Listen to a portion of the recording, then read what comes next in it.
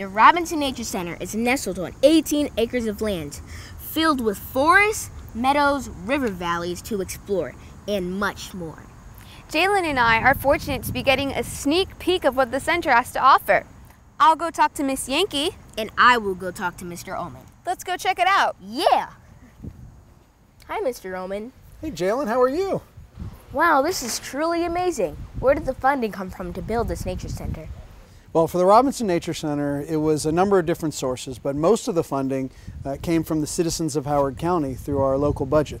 We also got uh, the land was pretty much donated by the Robinson family, um, who sold the land to the county at a deeply discounted price and then donated the $2 million uh, back to the county and created a foundation to help with programming here. We also got some grants from the state of Maryland as well. What is the purpose of the center?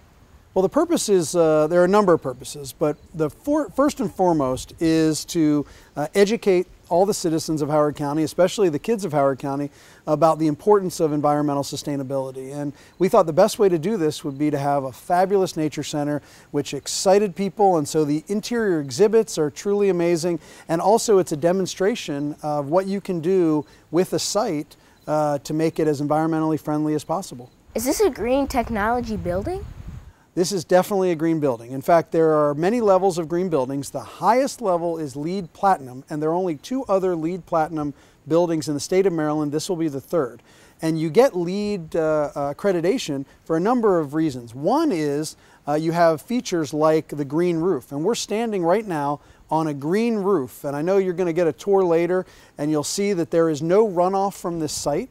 There's a lot of different rain gardens and bioswales around. We actually have uh, pervious pavement, so when it rains, the rain goes right down through the pavement and doesn't run off. Wow, this is a great building. Let's go inside and meet up with Kristin. All right, let's do it. Thank you.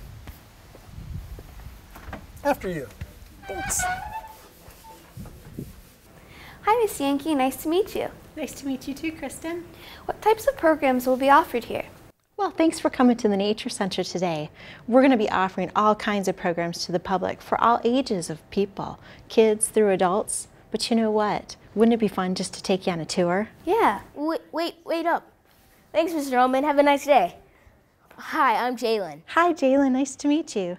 Do you want to join us on a tour of the Nature Center? Yeah, sure. I thought I heard something about a tour. All right, come on this way.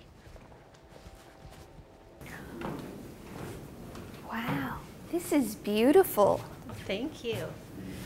We have so many other places too in the Nature Center where there's lots of things that you can see.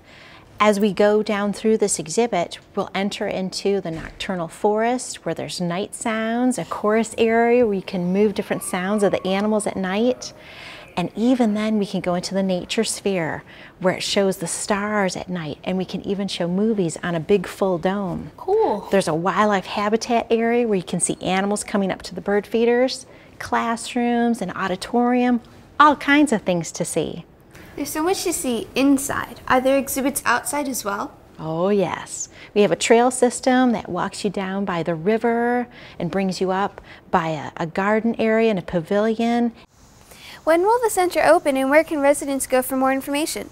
That's a good question, Kristin.